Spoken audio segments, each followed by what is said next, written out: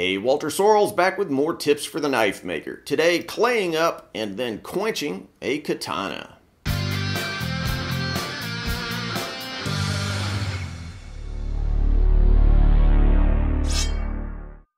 It's recently become cool to clay harden all kinds of pointy things, but Japanese smiths came up with this technology about a thousand years ago. What's the trick? Well, before we get the what, we'll get into the why. To start with, a sword is not like a knife. You can chop away on any reasonable target with a decently made small knife with little chance of actually breaking the blade in half.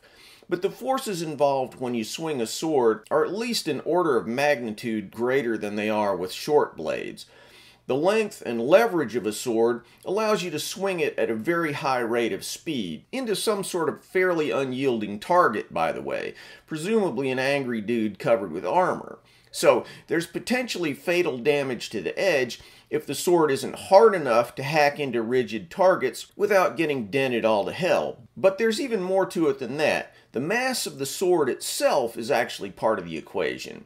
If you've ever seen a super slow-mo of a sword getting whacked into something, you'll be amazed at how much the sword bends as the inertia of the blade tries to keep that blade moving after it hits the target. This creates all kinds of wobbling and bending, which in turn create compressive and worse tensile strains that can easily rip a blade in half. So an ideal sword is both very hard and capable of shock resistance two qualities which are at war with each other.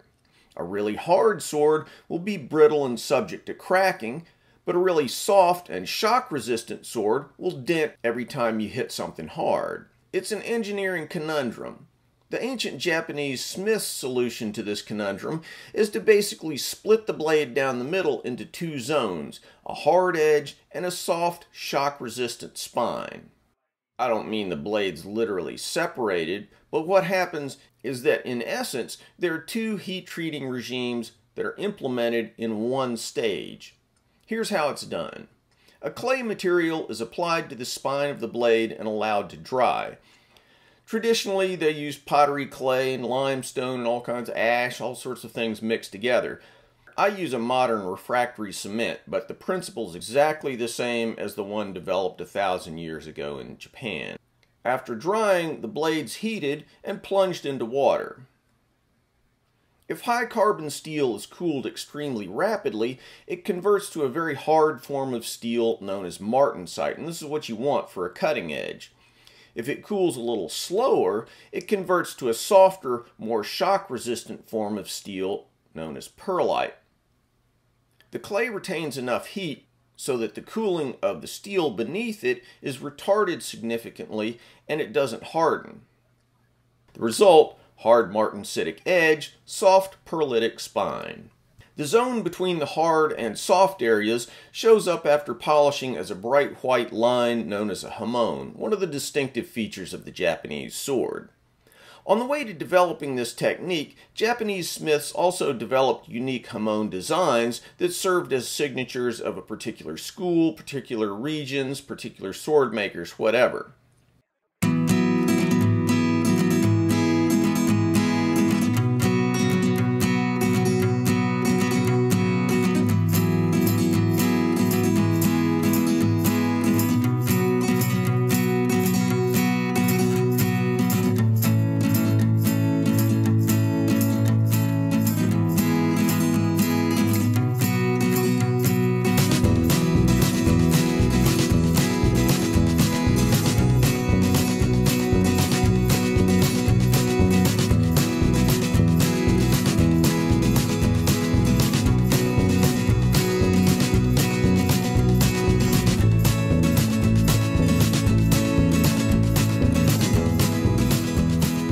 Claying complete, it's time to quench the katana.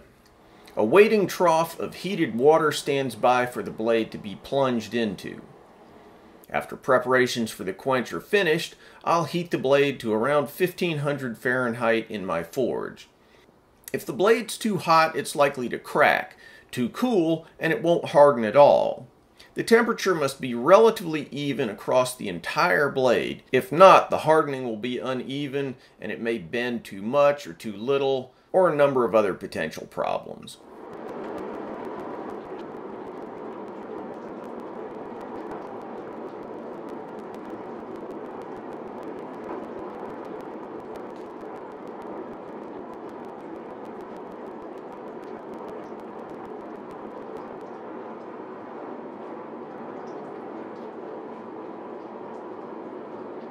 At the precise moment when the entire blade has been heated to the correct temperature, I'll plunge the blade into the water.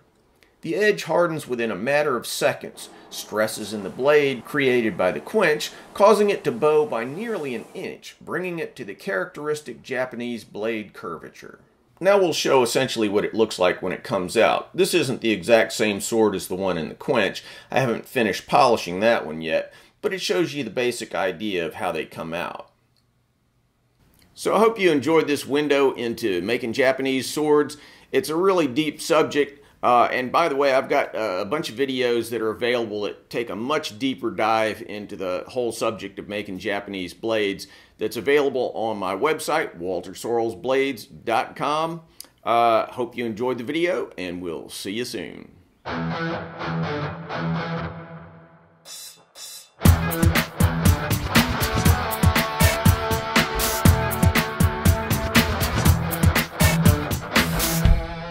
Thanks for watching, guys.